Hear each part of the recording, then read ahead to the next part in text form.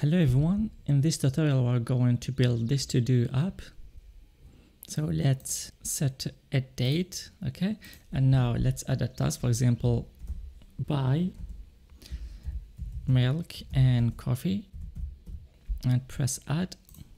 Okay, let's add another another one. Buy sugar, potato and tomato. Press add. Okay, let's say we bought the first one, the milk and coffee, we can remove it. And also when we buy the second one, we will remove it. And that's it. Let's get started. Okay, this is a basic template that we always starts with. Here, this is layout, which is empty, uh, creating a window, the while loop progressive window, reading the window, and we checked if we clicked on the exit button and if we clicked on the X in the window to close it and break. And here we print event and value for debugging purposes and see what's going on. Let's get started creating the calendar button. So sg.calendar button and let's call it set date and then let's change the size to 10 and now let's create that label sg.t and then the label do this string and then add the key which is date and then we're going to create the label write task and then input here sg.i let's add the key. Let's call it task. Let's change the font First, we don't need to change the font type. So let's set it to none and then I want the font to be 15. I can also specify here bold, but I don't need it. And then specify the size. Let's set it to 32 and then one here. Okay, let's try and run see how it looks. Okay, we have a syntax error position argument follows keyword argument. Oh yeah, we forgot to close here. Uh, there's an extra here. Let's run it again. Okay. I want to add the size of the text. Let's set it to 10, 1. Let's run the code. Okay, much better. Okay, now let's add our table. sg dot table. So first parameter is the values are going to set it as an empty string and then the headings which is the header headings inside the list are going to specify index. The second column is the date and the third column is the task task. We're gonna add a key which is table okay the size also 500 over 10 height okay the, another parameter which is auto size columns. It's by default true. We're going to do false. And then we're going to specify column width. Column width inside the list. The first column is index. I want to specify only five. And then for the date i want to specify nine. And for the task i want to specify 30 okay now let's add another parameter which is scroll. Scroll vertical only which is true. We're gonna set it to false to see the horizontal scroll bar and then justification. Justification it's right by default. I want to set it to L. You can write left but L is enough. The last parameter is the font. I want to make it a little bit bigger so first is none which is the font name. I don't care about the font name so I want the size. I want it to be 15 now let's run our code and see how it looks. Okay that's good. And then we're going to add the three buttons. sg.b for button, right add, and then sg.b and add the key, delete, and the third button which is exit. So, okay, let's uh, run our code.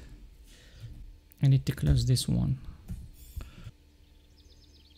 Okay, now we're going to increase the size of the add here. So size is equal to b 10 and 1. Uh, going also to change the bottom color. So button button color and let's set it to green and here I want to set the button color button color to red let's run our code okay much better let's select the date here okay now the date is inside this label. Let's say milk. The task is milk the table is empty. The date is inside the, this label. We need to access this label. So here else if event is equal to add.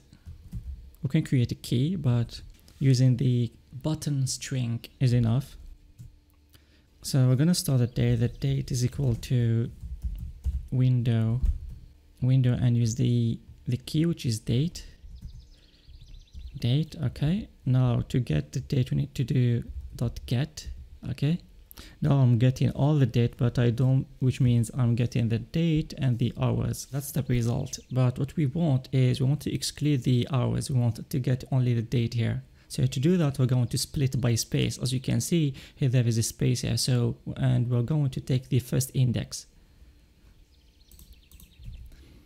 So dot split and by default it splits by space. Then take the first index.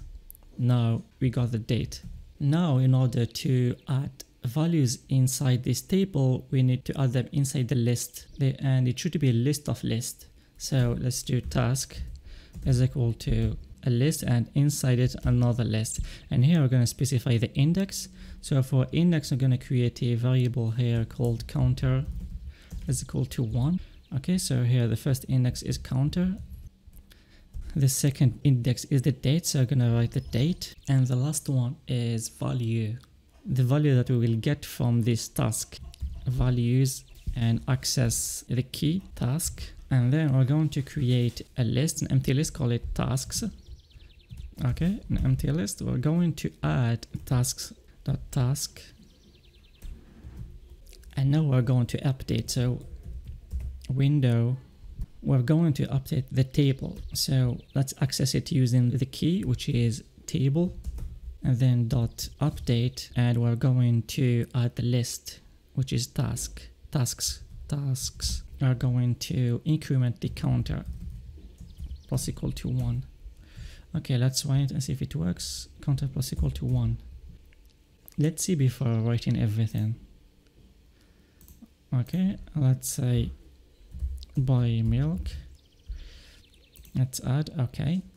It's working. What we want to do now is when we press on add we want to clear the text inside the input. And to do that let's copy this one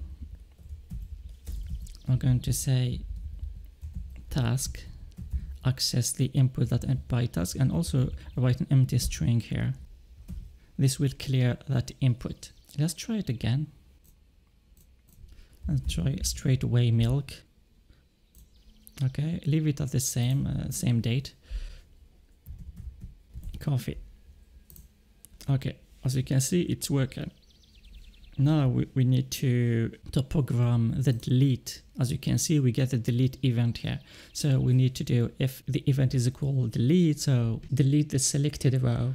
Else if event is equal to delete. Now First, before deleting anything, we want to make sure that a task is selected from the table. And to do that, we're going to do if values Okay, for, for deleting, we need to specify a value. So let's do pass here. Let's run our code. Let's write milk. Let's do add. If I press on a value Okay, it's not working here when I press on this value. Maybe I forgot the enable event. Okay, this one instead of naming it date, I named it data. Okay. I'm adding enable event is equal to true parameter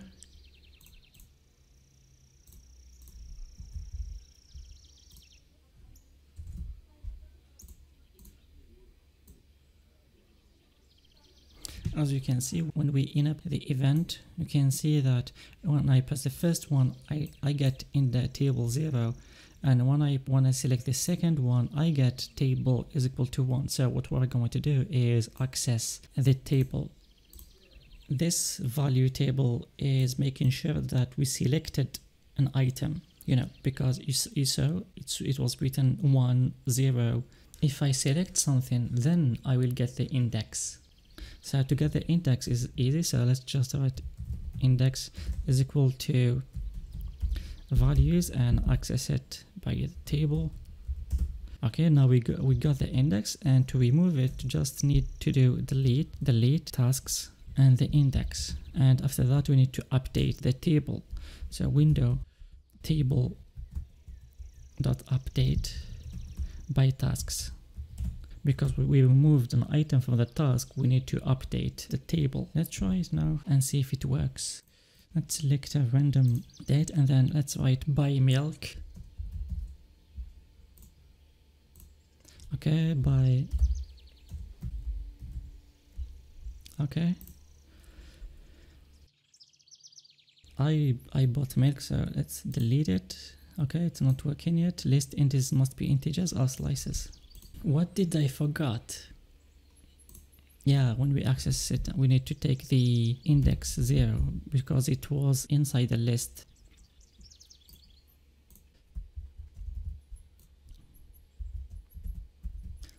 okay let's remove this one. Okay it's working. Yeah it's working. Okay hopefully we finished this to do app. It's simple as you saw. Thank you so much